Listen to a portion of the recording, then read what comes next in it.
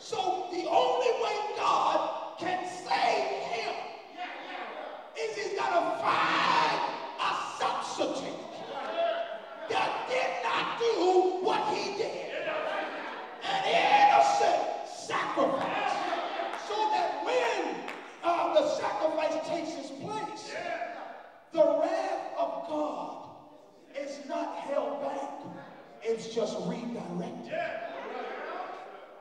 God's wrath was never held back. It was redirected. And it hit the object rather than the man so that the man could come back to God. Okay, okay. Now sit down. I'm going to need you again. Sit right there. Here's what that's like. Because what the substitute does, I'm trying to hurry up. What the substitute does is he pays the penalty that the man couldn't pay. Let me help you with this. Even if you died for yourself, it wouldn't have satisfied God. You couldn't even die for yourself. Because what God required was an innocent sacrifice because of the magnitude of sin. Even if you said, God, I'll pay for my own sin, you ain't got enough collateral to pay for your own sin. Your life ain't even enough. God had to find an innocent sacrifice. So what God does is he uses him to pay the penalty. How, how can I illustrate that for you? So you can see it in vivid color. It's like this woman who, who came to the court of law, and the woman was guilty of breaking the speed limit, but she was a offender several times. So she comes before the judge, and the judge says, this time you got to go to jail. This time, you are so guilty that I'm going to have to punish you. The woman said, I got three children home. I can't go to jail. Is there another way that you can see me through this without giving me uh, the penalty? He said, no, no, no. According to the law, and he, held up the law said, according to the law, you've got to go to jail and there's nothing I can do according to this law. I can't let you go because the law is just. The woman put her head down and she started crying. And the judge was up at his table looking at the woman crying. And then the judge looked at her with compassion, trying to figure out a way that he could satisfy justice, but somehow give this woman some mercy. So the judge did something strange. He got up out of his chair, took off his robe, laid his robe to the side, came down to the woman's level, went down in his own pocket, paid the price for the woman. The woman didn't see what he was doing, but he went down in his own pocket, paid the woman's penalty,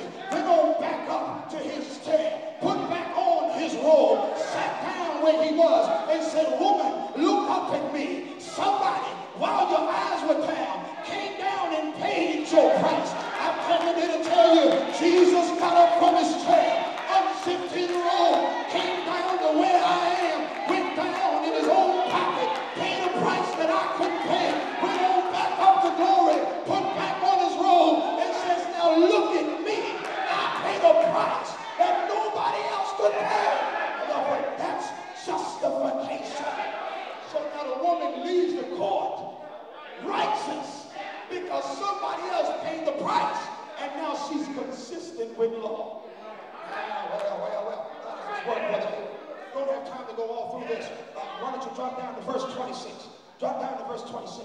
Same chapter. Same chapter. Now, now, justify. Well, I don't want that yet. I changed my mind. I got another verse. Then go to Acts chapter 3. Go to Acts 3. I just want to show you justification. Another way of talking about it is being turned away from sin. That's justification. I got one more verse. Galatians 3, I'm excuse Acts 3, verse uh, number 20.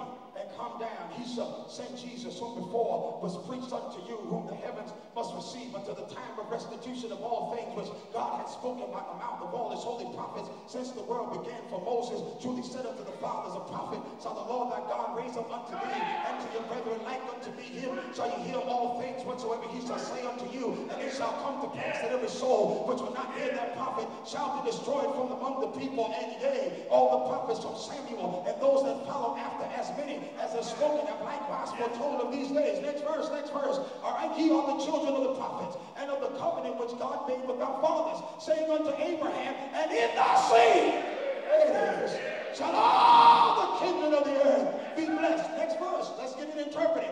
Unto you first God, here it is, having raised up his son Jesus, that's the seed, sent him to bless you. There's the blessing. Well, what is it? And turning away every man from his iniquity. Do y'all see what the blessing is? The blessing is being turned away from sin. The blessing is when God does not hold your sin to your account. How do I get it? Right now, you should, that's all, everybody should be happy with this. Now, how you get this stuff? Because that's the plan of salvation in promise. What's the, what's the plan of salvation? To give us justification through Christ Jesus, by faith in Christ Jesus, separate and apart from law. But that but now let's see how that plays out. Now look at verse 26, Galatians 3, 26 and 27. Let's watch it play out. I mean, I'm almost an invitation. This is normally where folk get unhappy with me. Right now, everybody happy. And then when we start talking about how you get it.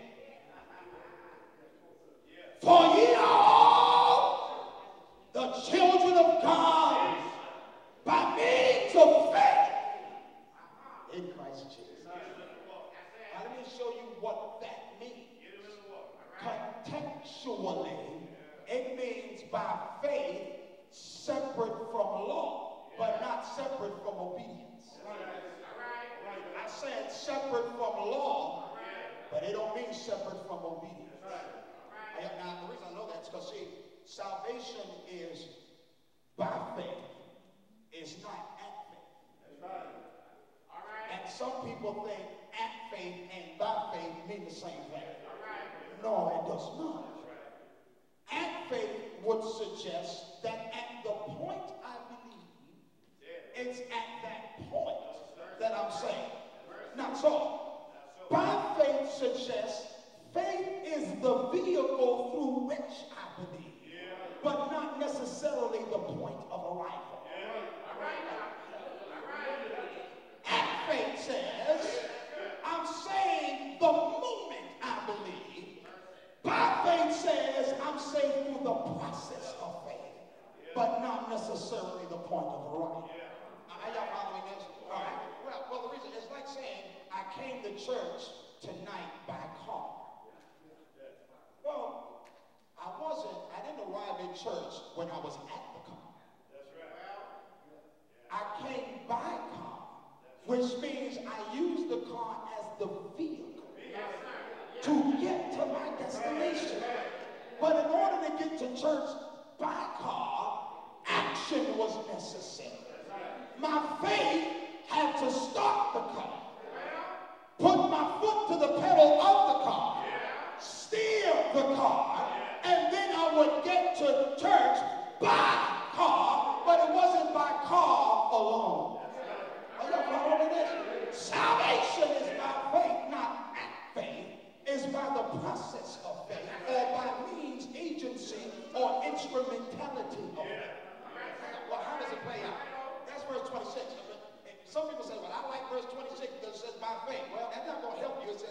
says by not at.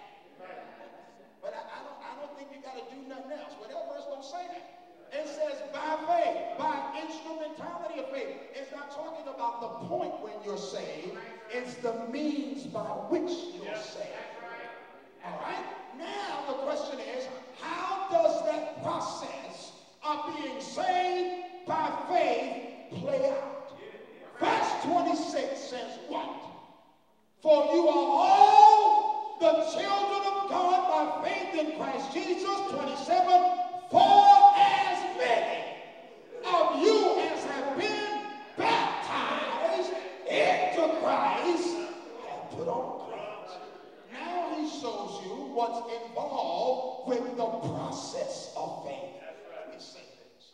Some people read by faith scriptures and try to make them fight baptism scriptures. In the first century, that fight didn't exist. In the first century, they understood when you mentioned faith, it included obedience. So when you see by faith, it never means mental assent. I don't have time. Now, now faith is the substance of things hoped for, evidence of things not not seen, for by it the elders obtained a good report. Through faith we understand that the worlds were framed by the word of God, so the things which are seen were not made of things which do appear. By faith Abel offered a more excellent sacrifice than Cain, by which he obtained witness that he was righteous. God testifying of his gifts, by it he being dead and speaking. By faith Enoch was translated that he should not see death, and before his translation he had this testimony that he pleased God.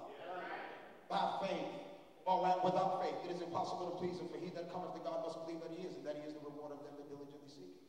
Watch it. By faith, Noah, being warned of God of things not seen as yet, moved. Yeah, yeah. Y'all not getting this. In faith, prepared an ark for the saving of his house. By faith, Abraham, when he was called to go out into a place which he should afterwards seek for an inheritance, obeyed. Every time you saw by faith, you saw action. By faith, Abel offered. By faith, Noah moved. By faith, Abraham obeyed.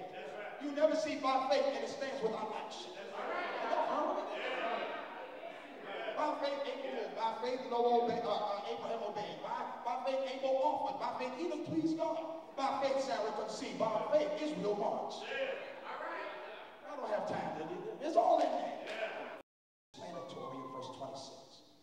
So if you want to know what it means to be saved by faith, verse 27 explains it. How am I saved by faith? When I'm baptized into Christ then I put on. That's it. That's it. That's it. That's it. He, he's going to be Jesus. Once Jesus sacrificed himself and paid the penalty, all right, he now is my source of righteousness. You do not want to stand before God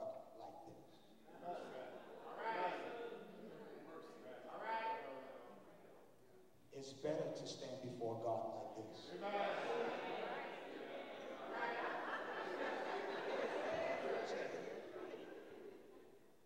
For as many as have been baptized have. So now when I stand before God, I stand before God clothed in Jesus' righteousness. If you don't get baptized, you will stand before God like this because you didn't get dressed. But I don't want to be baptized. No problem.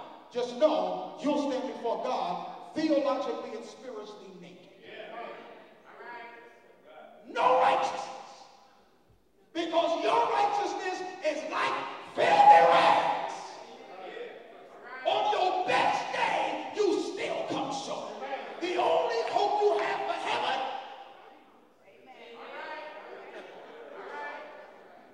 and the only way you get there is baptism. Only way you get there. All right? That's why Acts, I don't have to go back to Acts 3, 27, uh, Acts 3, verse 26, where we read, the blessing is being turned away from sin.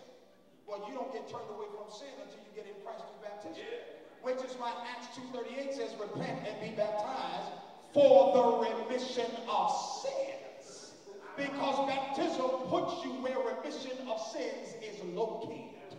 It's located in Christ. If you're here tonight, you can have a seat. If you're here tonight, I'm done. I have a lot more to say, but I saved some for tomorrow. If you're here uh, and, and you have not been baptized for the remission of your sins, that means you are not a member of the people of God, the church that Jesus built. The church is the body of the justified. I'm just using different terminologies to describe the same thing. The church of Christ, what is it? It's those of us who've been justified. Because we were baptized into Christ Jesus. Well, what is the church? The church is Jesus Christ's brothers. Yesterday's sermon. You want to get in the family of God, you got to come by adoption. That adoption don't happen unless you're in Christ Jesus. And the only way it happens is if you're baptized for the of sin. Well, well, I just don't believe baptism is essential. Well, uh, that's okay. You can't be forced to believe anything you don't want to believe. However, the Bible teaches that baptism is essential to salvation. I'm going to say that again. You may not believe it, but the but baptism, uh, rather the Bible teaches. Now, if you plan to be saved, then you need to accept teaches that baptism puts you into Christ Jesus. And so if you're here tonight and you want to be saved, you've heard the gospel that Jesus Christ died and was buried and rose again, and that salvation is in him. And then, of course, believe that to be true, repent of your sins, acknowledge Christ with your mouth. I believe he's the Son of God. And then get baptized for the remission of sins. God will put you in Christ, in the body of Christ, in the church that Jesus built. Now, let me just say this one last thing. There is no such thing as finding the church of your choice. The same thing that saves you makes you a member. It's not two different processes. It's not, I'm going to get saved and let me go pick one of these out here. No. When you get saved, then you become the church. And you become the one that's in the Bible. You don't get saved and say, any, any, any, any, mighty, more. Let me see which one I like. All right. No, no, no, no, no. The process that saves you makes you a member of the church Jesus built. Are y'all following what I'm saying? And that church was not a denomination. And I'm going to give you a history of where all these other churches came from. Man, they, they're not all from God. And, and I'm not, let me just be clear. I'm not saying that they don't love God. Did You hear? I, I say, I'm not here to beat up nobody.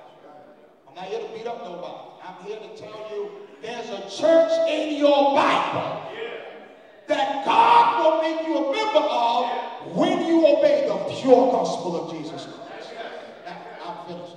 Is anyone that has a question? I'm done preaching. I'm not going to yell at you talk normal now. Um, I only preach like that. Uh, but now I'm civil and calm. And I've taken my medicine there, is there a visitor here that's saying, I, I thank you for the sermon, but I would love to just, if you could clear this up for me, I, I would, I would, it would help me be baptized for the remission. Is there anybody that uh, you're saying, and I, I promise I'm not you. Your question may be another question someone has had. So if you're visiting, you know, I don't want you to be nervous to say, you know, I heard you say about baptism and all this stuff. Can you explain that a little further? I didn't quite understand. Anybody a? Anyone? You're visiting with us. You're not a member of the Hilltop Church of Christ. I have a question. Now, if you're a member of the church, then you will ask Sam Pounds all of your questions. All of your questions will be directed to the minister of this church. Man, we did a meeting one time, and boy, when you open the floor for questions, members start getting strange. They, they want to bring up something they don't like at the congregation. You want to explain to me? Uh, no, no, no, don't ask me. Uh, uh, Brother Samuel Pounds, or the eldership of this church, will be happy to answer all of those questions. let's all stand.